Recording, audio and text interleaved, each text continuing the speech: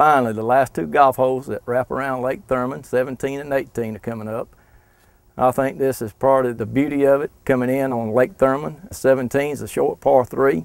All you need is probably eight iron, nine iron to reach the green, but don't miss it left. As you can see, the lake's all the way around the green. The right, we have a nice trap for you. So the best place is on the green.